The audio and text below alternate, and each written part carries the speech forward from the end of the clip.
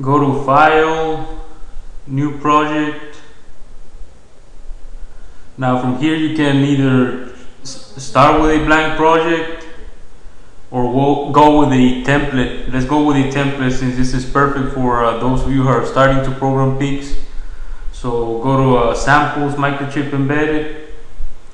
Select the uh, family of PICs you want to program. I have a PIC 16 so I'm choosing the PIC 16 template next. In here you want to type the project name. I'm gonna name it LEDs go to finish.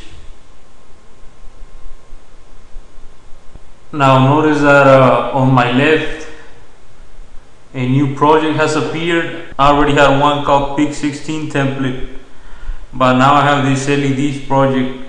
So what you want to do is you want to make whatever program you want to upload to your microcontroller the main project. So to do that you right click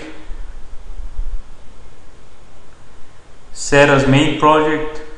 So now whenever you hit the upload button whatever project is your main that's what's going to get uploaded. Now go ahead and open your LEDs project and go to your source files. Uh, the first the three files that you uh, are going to be using for this project are the main system and user so go ahead and double click on those to open them. Now if you go to your main file notice that we have some includes. We also have the main function and uh, inside of the main function we have the configure oscillator and the init app. To configure your oscillator go to your system C file and uh, so I'm gonna just configure my uh, oscillator with some uh, common settings here. I'm gonna use an internal oscillator.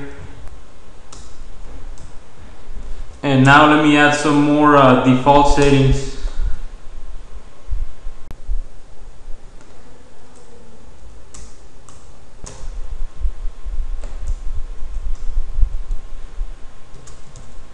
The next thing to do let's uh, take care of this init app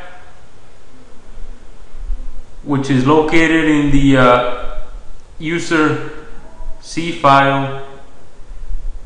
So I have uh, four LEDs connected to my development board. I want to turn on those four LEDs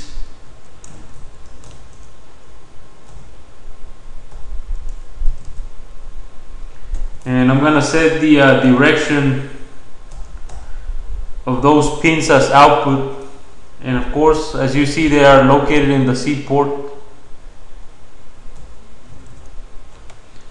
so now that, that I have uh, written the code that I need to uh, turn on those LEDs one last thing I'm, I'm, gonna do is I'm gonna select the chip. Now remember when we created the project we selected the family not the specific chip. So let's go ahead and do that. So you want to right click on your project set configuration customize now from the device list go ahead and select your uh, the chip you're using. I'm using the PIC 16 F690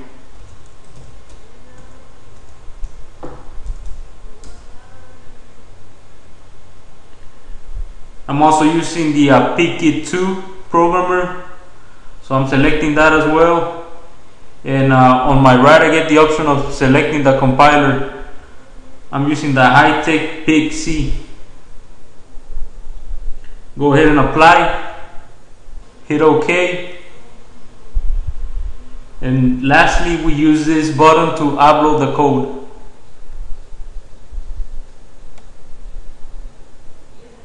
So now my code is compiling and everything. The build was successful and the uh, programming of the microcontroller was completed. And as you can see my uh, four LEDs turned on. That's it for this tutorial. Subscribe for more PIC videos. Thank you for watching